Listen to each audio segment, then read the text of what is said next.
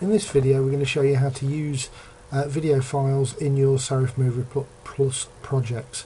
So all you do is just simply drag it from the media area onto the timeline and you can use the timeline to select the bit of audio you want to keep or you want to get rid of.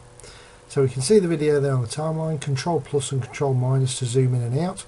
We can simply play it until we get to the bit that we want the video to be cut at.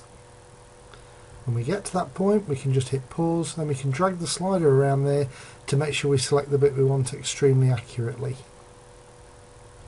Once we've done that we just click on the pair of scissors and you'll see the video splits into two. It's quite simple to just click and press delete on the bit you don't want and then you can move the rest of the film up to the start. We do the same again where we want the bit to finish and then use the scissors to cut it.